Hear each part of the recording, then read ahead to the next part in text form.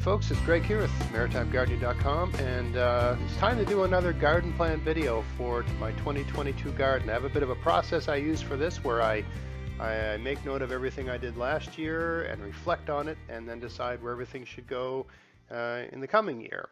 And so this is going to be a two-part video. The first part is just reviewing last year's garden, uh, what went right, what went wrong, um, some reflections on all of that.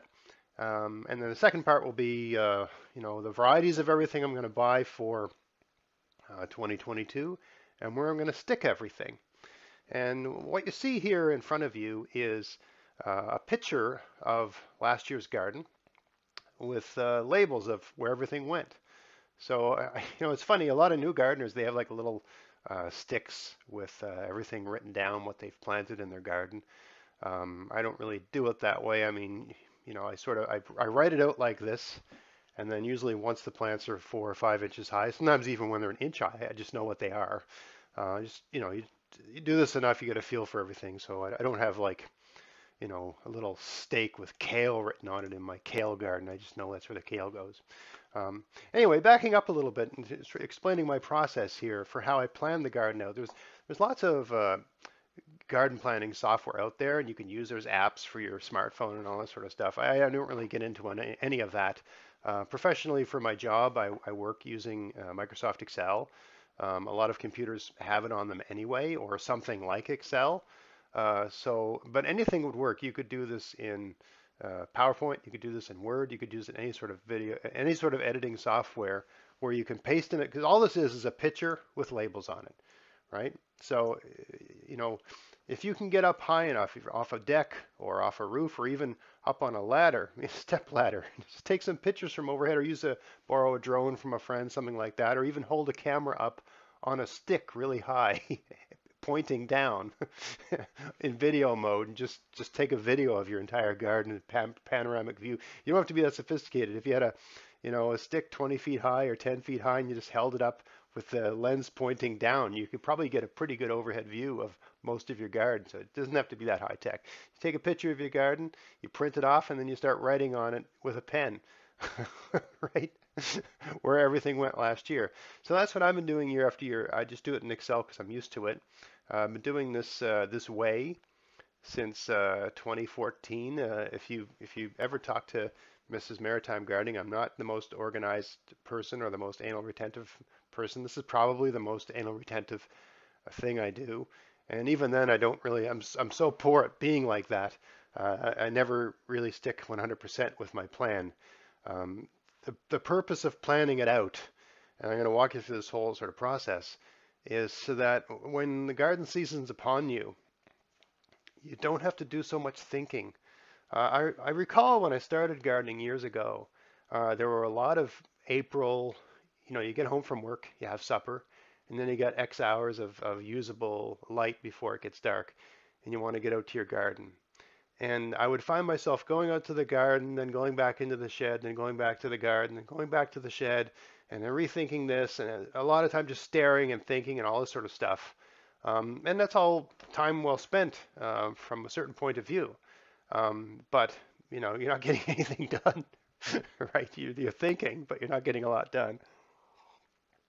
So I think it's useful to do a lot of your thinking in the winter, right? You got a nice picture. You, you your members are rel relatively fresh. It's better to do this in let's say September when things are still really fresh as well. But anyway, you do it. You do it when you can. I tend to do it in January because there's nothing left to do out there. Everything's just frozen right now and covered in snow. So um, it's much more uh, uh, uplifting. right, positive to look at a beautiful picture of your garden from the year before and uh, think about how great it's going to be next year and just focus on that, right? I find that's a better use of your energy and a, a, really good uh, sort of cure for the, the winter blues, uh, winter doldrums. So uh, every year I, I have a picture of like the previous year's garden and then usually some sort of plan based on the previous year's garden. Uh, and then how the garden went. So like for instance, for 2017, right, I'm using the picture from 2016. So I have a picture from 2016 and I got a label where everything went. I had carrots here, I had tomatoes here, I had beets here, and so on, right? And then 2017 is my plan. And I usually have some notes of things that worked or didn't, like this. This uh, I'm gonna. So what I'm gonna do is be flipping back and forth between gardens and plans, gardens and plans, that sort of thing, right? 2017 plan. I was saying don't bother with a uh, scarecrow. The scarecrow never worked. It, it didn't scare anything away. It only, only the only thing the scarecrow scared was me. Every time I turned around and caught this thing in the corner of my eye, I just about have a heart attack.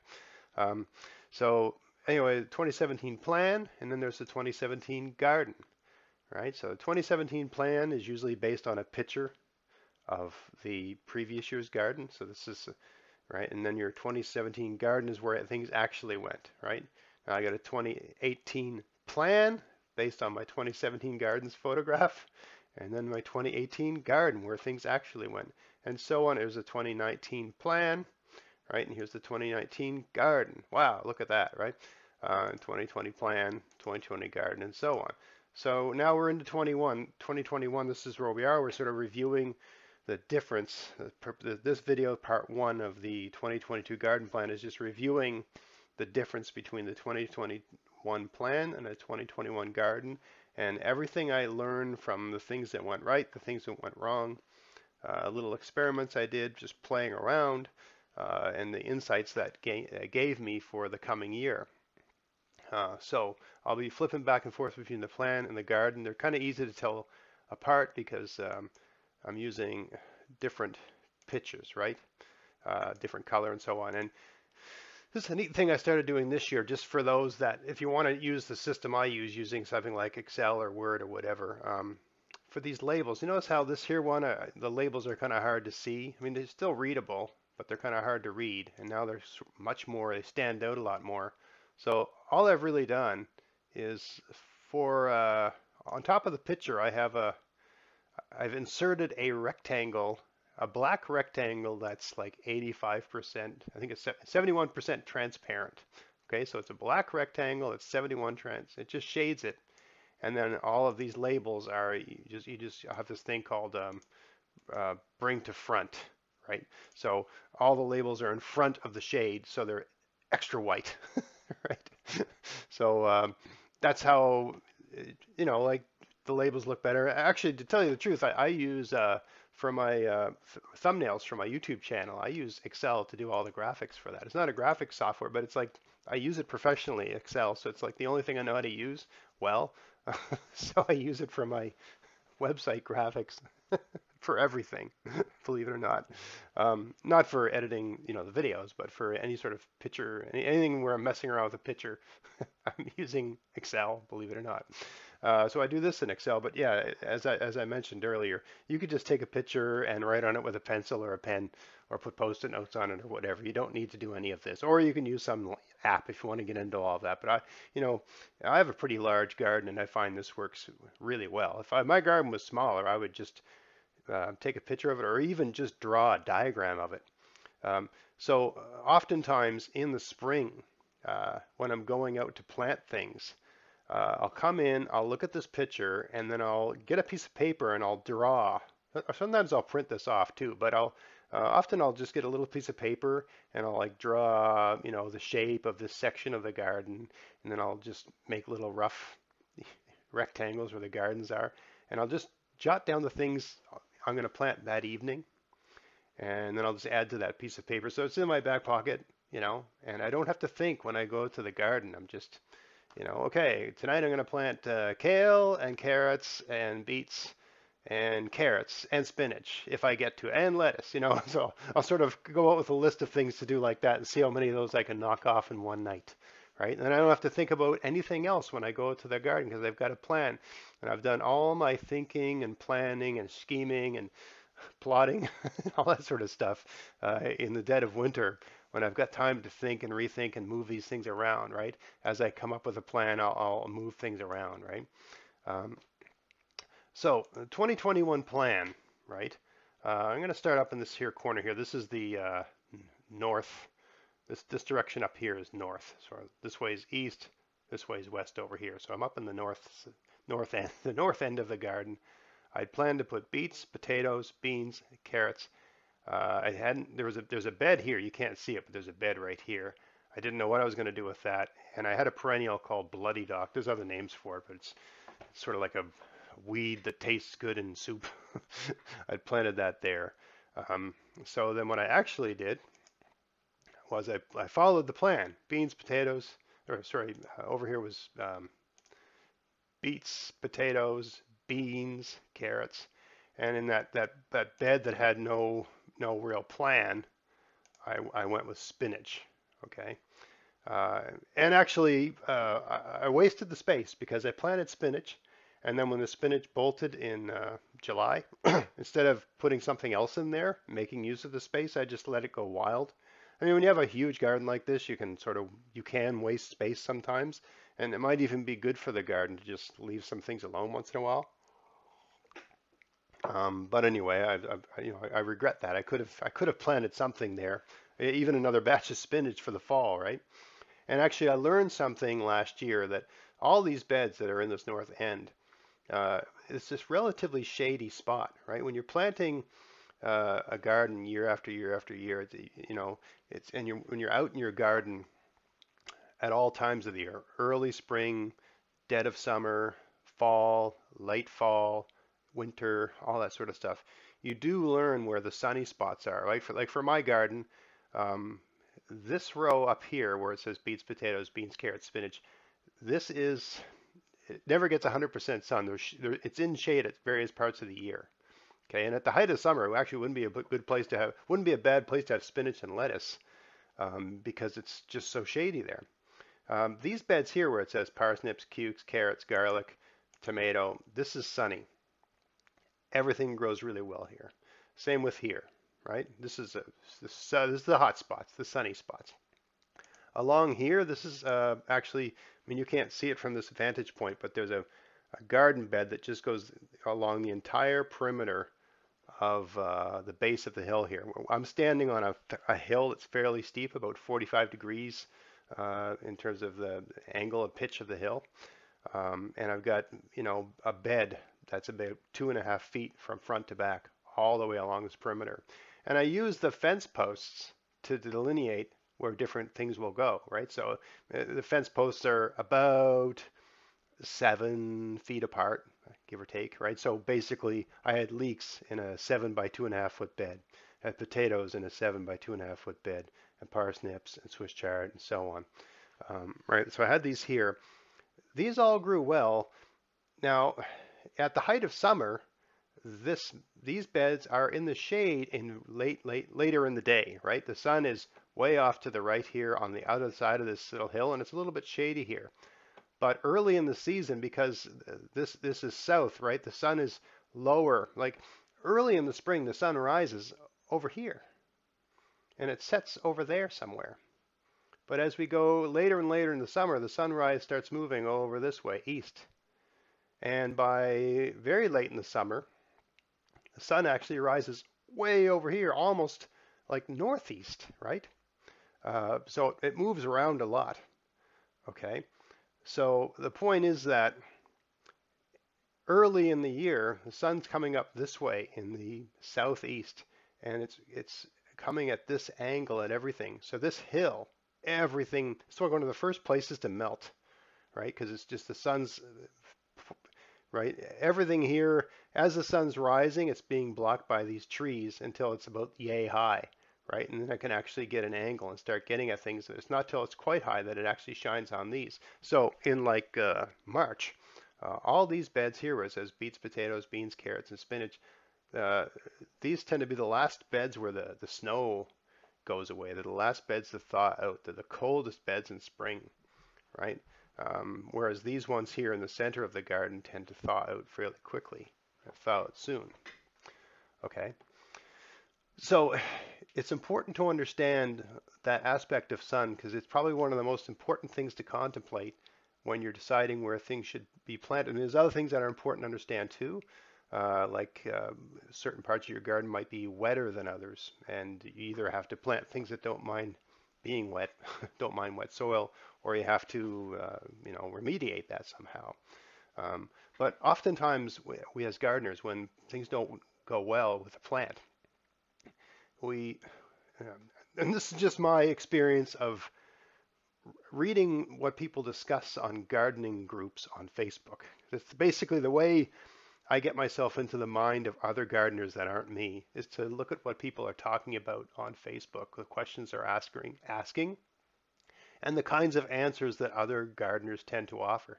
So if something doesn't grow well, uh, the knee-jerk reaction is to uh, suggest that the plant needs more nitrogen, potassium, or uh, what's the other one? Oh, why can't I remember that? Nitrogen, potassium, and phosphorus, right? Um, NPK. So the knee-jerk reaction of most gardeners, is, oh, you need more phosphorus, you need more potassium, you need more nitrogen. Or they'll go to something even more exotic. They'll say, oh, you need more magnesium, you need more calcium, all that sort of stuff.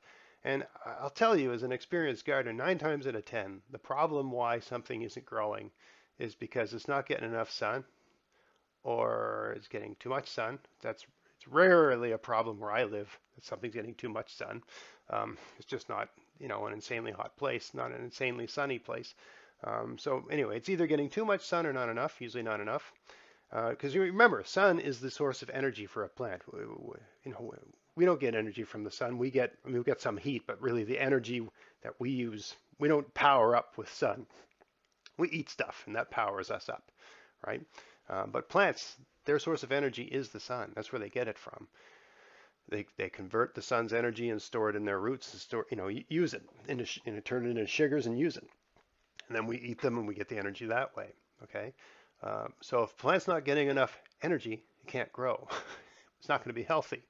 Um, so it's really important to understand where the sun is because nine times out of 10, if you've got a problem with your plant, it's probably sun. If it's not sun, it's either too wet, the soil is either too wet or not wet enough.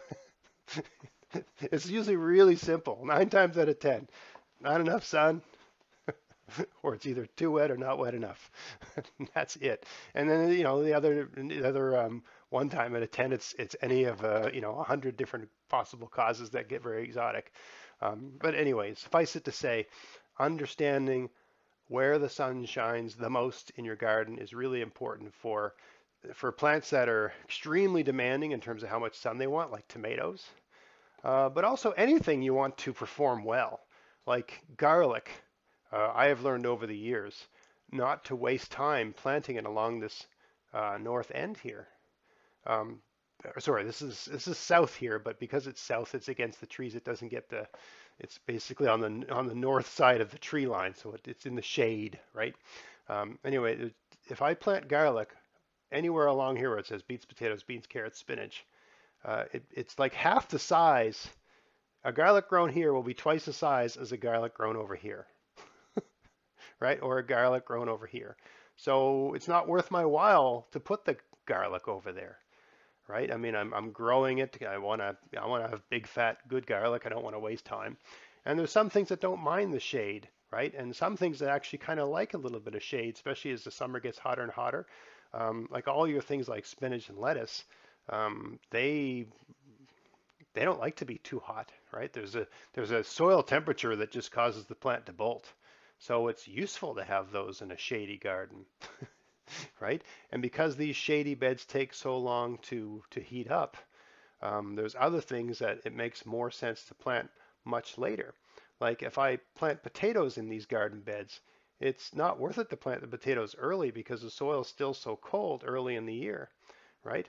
You know, when the sun's rising over here and this these beds are all in the shade, it doesn't make any sense to have plant an early variety of potato like red Norland here, right? It makes sense to plant potatoes over here early in the year because it's getting sun. But it makes perfect sense if I have a spinach garden and the spinach is starting to bolt because it's like uh, late June or something like that. Um, I can plant potatoes in it then because by then the sun isn't rising over here, it's rising over here. So, so this bed now, because the sun's rising in the east, it's getting morning light because the angles change. It's coming from over there instead of from between these trees. There's a nice path. So it gets much better light later in the year, right? And then as we go back to fall, the angle of the sun changes back to here, right? So if I was going to plant, um, uh, you know, like a lettuce or a spinach for a fall crop, it wouldn't make any sense to have them in these beds because as we move into the fall, the sun starts rising back in the south, and these are very, very shady, and they just slow right down, right? So yeah, these are all little things you, you know, if you if you've got a really large space you're trying to work with, and there's different levels of sun in different places, uh, understanding how that works really makes a big difference in the kind of performance you can get into the garden, which in the end, in the end will affect your your satisfaction with your garden, right? So one thing uh, last year, another thing with with this plan here is every year I have down at the bottom notes, right? Don't do this, do this, don't do that again, do this, you know, always something like that. Don't, you know, only scab resistant taters. You know, I've I've I've found out over the years that basically uh, for what you know for a various number of reasons, uh, plants in my garden tend to get uh, scab. So there's just no point in planting a potato that's prone to scab. There's varieties of potato that are uh, highly resistant to scab. Um, instead of you know throwing all kinds of sulfur in the soil or doing this or doing that or following some some person's advice uh, on how to avoid it because based on what they do, which you know not always doesn't always work. you don't want to find out the hard way that some some person on Facebook's solution for scab really doesn't do anything. Uh, it's just a thing they do, and the fact that they don't have the you know, the, I don't know, it's a fungus or a bacteria in the soil that causes it. Uh, it's not necessarily the best solution.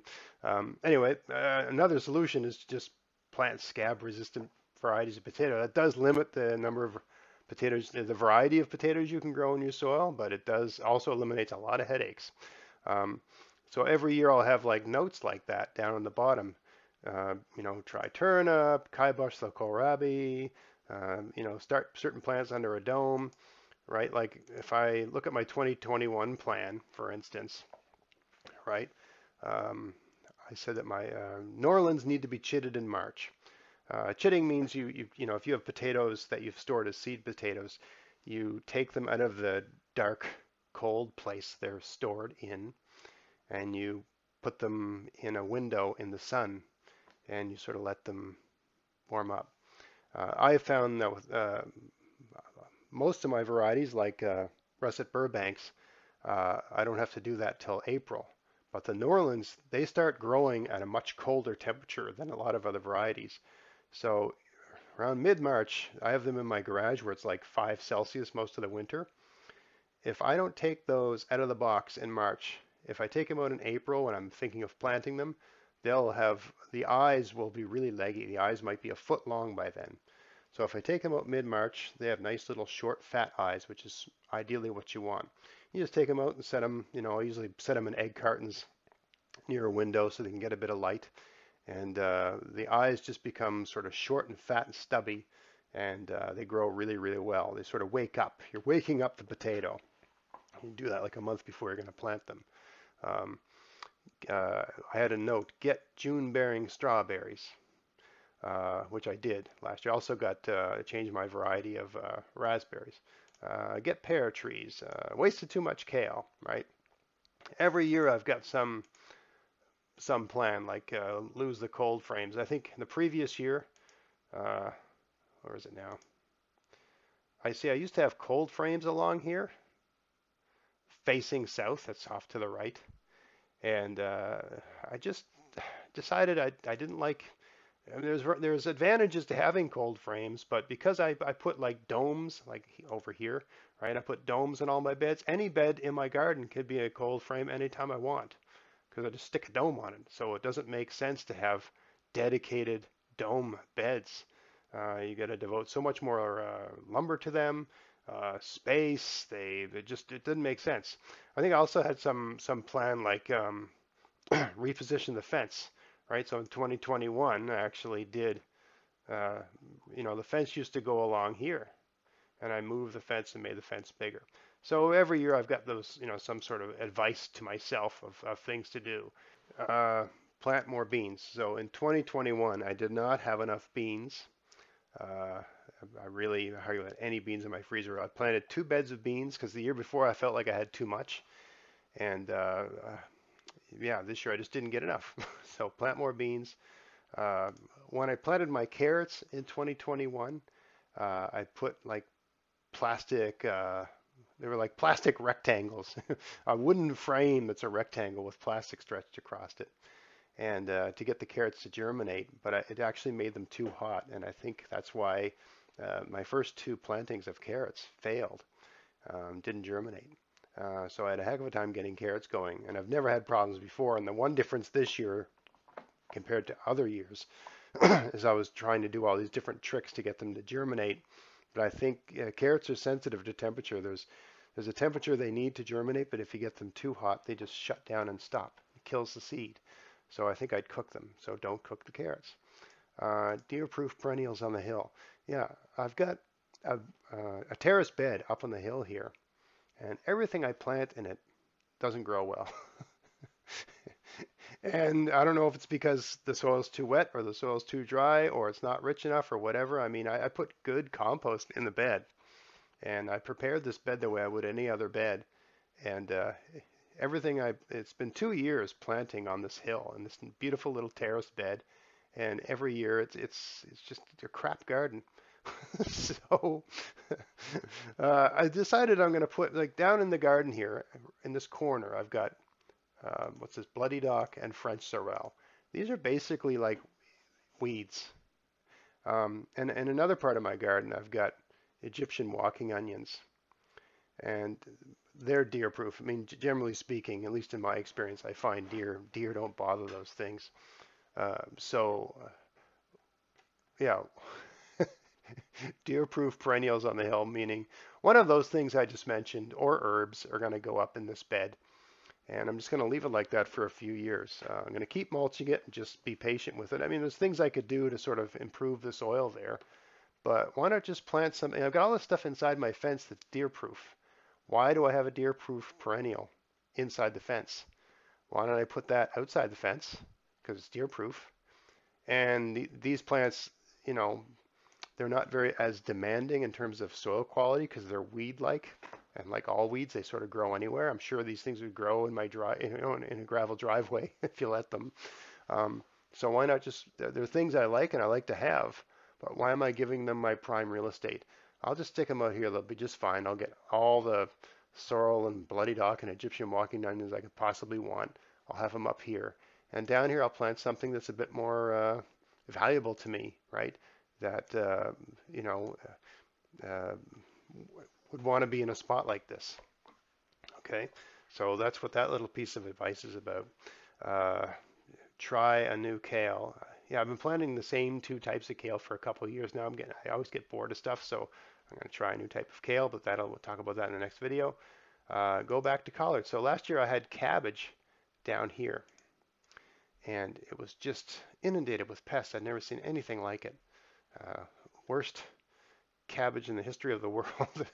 you know, I could have, and I did a video on this, you know, I could have mitigated that by treating them a bit more, you know, using some of the, the various products I use from uh, Safers to uh, just sort out the, the, slugs and the snails and the uh, small white, it's a kind of white butterfly that lays uh, caterpillars on your, that whole family of plant just destroys them. Um, I could have done that, but uh, yeah, I just I found myself uh, last year I planted cabbage instead of collard greens, and I found myself missing collards. So I'm going to go back to growing collards. They grow collards grow really well in my garden, so why am I why not grow them? Why why give that up, right? Uh, oh, and I've got a, a bit of a drainage problem in my garden. So over here,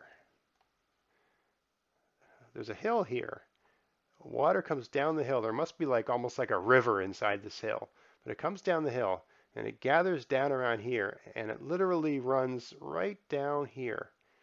And various times of the year, if you look closely at some of my garden tours, you'll see like a canyon developing here.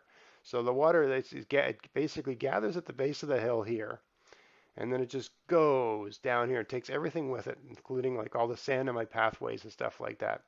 And actually, I think I had an apple tree growing here a couple of years ago and it died. And I think it's just so wet, it just didn't agree with it, right? So I've got an idea to use some Big O and you know do a, a sort of major project to deal with that, um, which make a great video. Um, but that, you know, I can't do anything out there right now. Everything's frozen solid. But I got a major project to sort of run a, some sort of perforated pipe all along here, and then connect a T to it and have it run down down the hill. And I might even put a goldfish pond here, uh, just basically a place to collect water.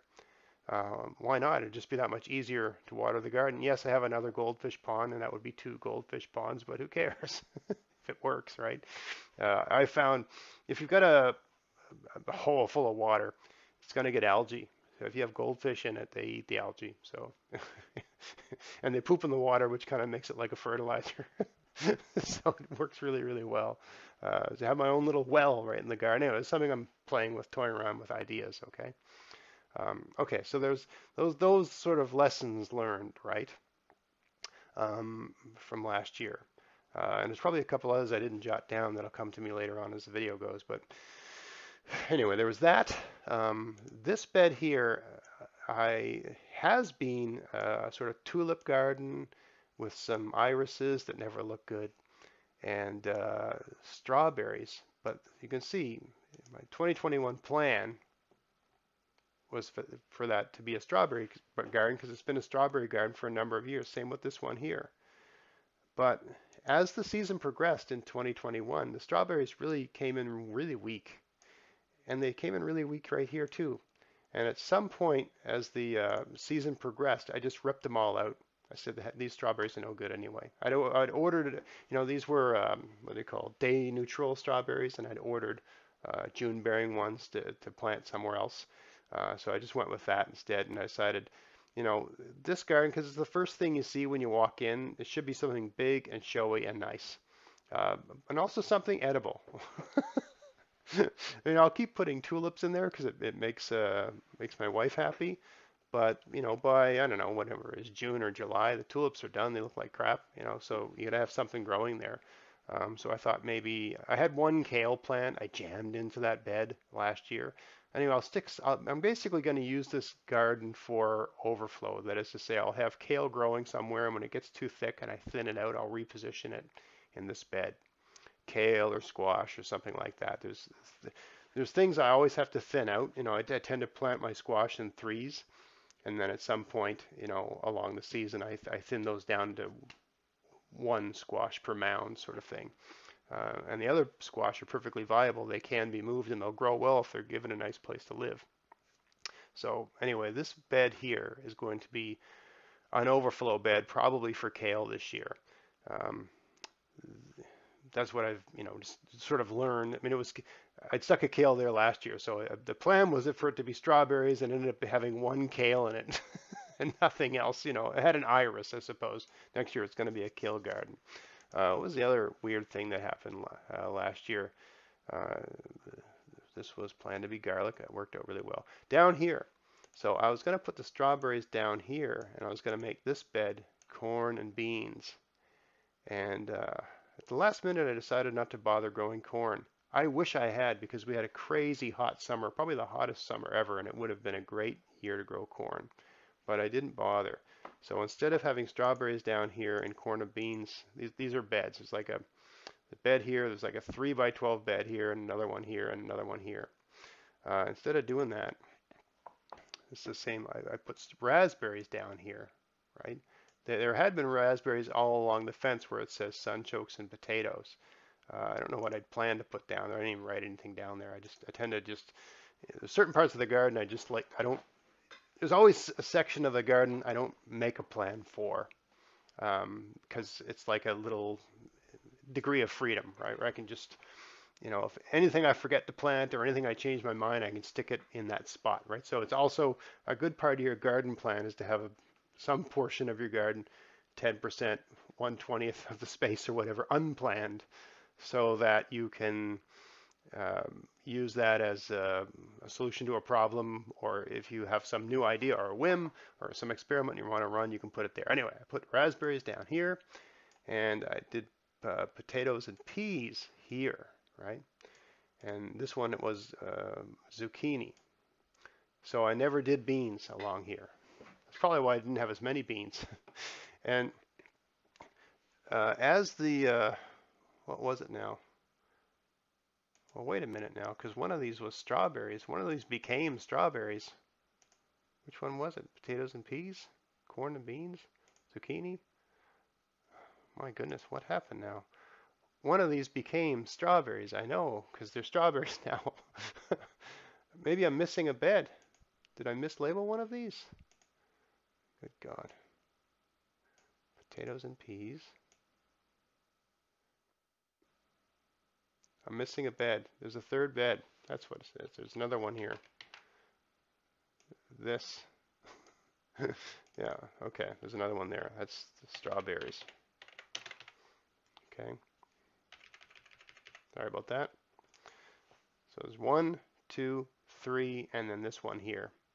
Yes. Okay, so there's basically one, two, three, four, and then this square garden. So, I hope this is not too confusing.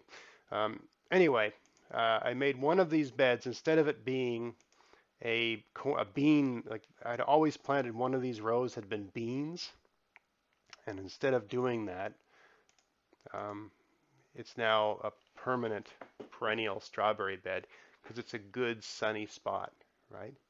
So I'll get good strawberries there. They came in really, really well, and uh, I'm expecting big, big things for this June. Um, so that's just one of those little, th you know, like I'd ordered strawberries because remember I I had this note in my 2021 plan, uh, get June bearing strawberries. So I got them in 2021 and I was like, well, where the hell are they going to go? Well, I want to give them a good spot. I didn't want to put them in one of these beds. Uh, so I ended up just committing this, this space over here, this 3 by 12 bed strawberries. I also put some over here, um, which you know, it, it, sure, it doesn't get the best sun in late summer, but again, these are June bearing, so they they do all their important growing uh, in early spring. So this will get really good spring light in this spot, sort of at the base of this south-facing slope. These will do just fine. Okay, uh, so that's another uh, area where I, I broke from the plan. Uh, same with here. This this here was a, uh, a strawberry bed, right? But I, instead I made it a tomato bed because uh, the strawberries weren't coming in well. And at some point in the season, I just said, the heck with it. I want nice tomatoes. The tomatoes grew really, really well here. It's not a really big bed, uh, but I just ripped everything out and stuck tomatoes in. I actually just went to the store and bought some transplants and stuck them in. I didn't didn't mess around. Same with the tomatoes over here. Uh, almost all my tomatoes this year. I, other years where I direct seed my tomatoes and do that, do a really good job of it. This year, I, for whatever reason, I did a poor job of it, so I just ended up buying them. I had some direct seeded tomatoes come in, and I even had some I started a, on a windowsill in my kitchen. But uh, yeah, uh, I didn't do the the big uh, direct seeding under uh, you know plastic dome uh, tomato project like I've done in previous years. That's why you didn't see any videos about about that process in that year. I'll probably do it again this year. We'll, we'll see where things go. Uh, okay, so there's another one where I had planned to do one thing and changed my mind and done, done something else. Um, I'm trying to think if there's anything else where I broke. Another thing I reflected was that um, this having sorrel and bloody dock here, I think I've alluded to this further, is just a waste of that space, yes. Um, now, going on to this section of the garden, most of this stuck according to plan. Uh, the only thing that really went off the rails in this side of the garden was this bed right down in the corner. So I told myself to plant beans down here. And as the season progressed, I started getting mustard greens down here, which I like. So I let them grow, and they grow so fast and so aggressively. Um, I really couldn't get a decent bean garden here. They just they just outcompeted and just the beans and mustard greens do not get along together. Let's just put it that way.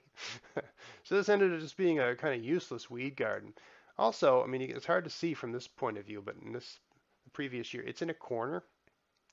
It's not a good garden to have beans in because they're difficult to plant, right? I can't, I can't stand outside the fence. It, it's butted right up in this corner, so I can I can only get at it from this side and from over here. I really can't reach in. So it's a garden bed that just doesn't make sense to have a thing like beans because when you have beans growing, when they're producing, you have to pick them every two days. And it's just a pain to get at this garden. So really, this is a garden where you grow a thing like a pumpkin or a squash or you know, something that you just harvest once. Onions wouldn't be bad, you know, because you just basically they just grow, and then there's one day you come out, you pick them all, bring them in, right? Potatoes wouldn't be bad because you're not in and out and in and out. You just you go in, you mess the whole garden up, you take the potatoes out, and then you're done with the garden for the year. So there's certain things that would work for a corner garden like this, and certain things that are just stupid things to grow in a corner garden. so I have to come up with some new plan for next year. I haven't, still haven't completely decided what I'm going to jam there. But it's going to be something. It's certainly not going to be beans or anything that has to be like regularly uh, managed and worked on. But uh, I'll figure that out as we go. Um, again, I'm not planting uh, cabbage. This this this bed where I grew planted to grow garlic. Um, for whatever reason, this garden gets good sun, but the, I, I just think either the soil there is too wet because the water comes down the hill, or it's just poor soil. It's one of the two. Uh, everything I plant here does poorly. Everything. Even beans don't do that well. Uh, so I think what I planted here for, uh, I've already planted uh, in that bed. Uh, you can't even see it here, but it's like up here sort of thing uh, is um, sunchokes because they, they seem to grow just about anywhere. Um, so yeah, last year I learned that I really shouldn't plant anything that's super important to me. anything I want to do well. Because all the garlic that came out of this were sort of small and, you know, just not not ideally sized. Maybe half or a third the size of the beds where they grow well. Another thing that I've realized uh, is that th these beds here are prime real estate. It's really sunny here. Everything I plant in them does really, really well. I can grow anything in these beds, and I'm wasting my time growing Egyptian walking onions. And the, these are all 4 by 10 beds, and it's just a waste of prime real estate to grow something like an Egyptian walking onion. They're they're a wonderful thing to have in your garden. You've got the sort of perpetual source of the uh, what would you call those shallots or not shallots? The uh, you know the onion greens. There's a term for that. It's just not coming to mind. But you've got a perpetual source of onion greens whenever you want them, from like May all the way through the season.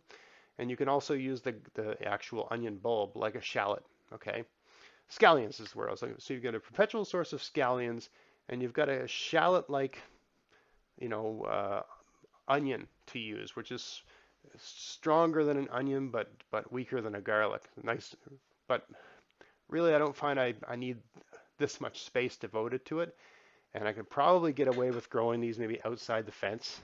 I'm I'm gonna assume that they're deer proof. Um, so one of my plans, and I should have done this like in September, but I didn't, is to get them all out of this bed and put them somewhere else. maybe I'll stick some of them in with the sunchokes that are growing over here. Put them somewhere else because it's just this is prime real estate. You, you, know, the, the, place that gets the best sun with the best soil, um, you, you, you put the plants you that are the most demanding, either the plants that are the most important to you or the plants that are the most demanding. Right? This would be a good place to try to grow peppers or tomatoes or something like that. Uh, and it's a nice bed where I can access. Like I grew tomatoes down here way back at the end of the uh, garden, right? 2021 was tomatoes. In 2020, uh, 2020, I had squash down here. That was a good thing to grow because you don't really, you're not regularly harvesting, maintaining squash plants. You just, they just do what they do. And, you know, in October or September, you pick the squash. Tomatoes, you, you sort of have to manage them and maintain them. Um, and, uh, you know, at a certain time of year, you're picking them every couple days. Um, so having a bed jammed up against a fence like that, where you can only get at it from one side, and it's you know, four by 10 or four by eight. This doesn't make any sense. So, uh, you know, I will not plant a thing like that. Again, it's just like the one over here. And if, if, if the bed is hard to get at and hard to manage and hard to work on, you tend to neglect it. You just will. At least maybe maybe this is more of a person in their late 40s thing. so it just, just doesn't make a lot of sense to to have a plant like that there. So whatever I plant in this bed either that or I redesign the bed so it's a keyhole bed and I can get at it more easily. I, I don't know. Well, you know, the wooden frame that uh, makes the box that is that garden is disintegrating anyway, so maybe I'll I'll redesign it. But anyway, this this one has to be given some thought uh, as to what's going there. Certainly, tomatoes made absolutely no sense to grow there. Um, they, they grew okay, but I just did such a bad job of, of looking after them and tending to them. Uh, doesn't make any sense. So I think that just about does it for this part of the video. Uh, just reviewing last year's garden and what went well and lessons learned, that sort of stuff, and uh, sort of explaining my process for how I, uh, year after year after year, you know, work my way through these different these different garden plans and you know learn from learn from that process. it seems a bit overwhelming, but it really isn't. I mean, it's just it's just a picture with labels on it, and uh, you know, uh, in the next video, what I'll be doing is I'll I'll be using the same picture, but I'll be just moving these things around, deciding where everything should go. And I'll, I'll also be reviewing the list of things that I'm ordering from, from Veseys Seeds, right? Just going through the different, uh, you know, different vegetables I'm using. And for those that, of you that don't know, uh, Veseys Seeds, uh, I got a coupon code for them again for this year. It's the coupon code is GAVS22. So uh, use that if you want to get a deal, uh, free shipping on uh, on your seed order. All right, but that just about does it for me for now. So uh, we'll see you in the next video. I'll try to get the other part out really, really soon, um, probably by the end of the week, um, so that you can sort of follow through with that process with me, and uh, also so I can get my order in. Got to get my seed order in before they're all gone. so I hope you found that video interesting. If you did, please like, share, subscribe, and, and until next time, get out there, get at it, have fun in your garden. Thanks for watching.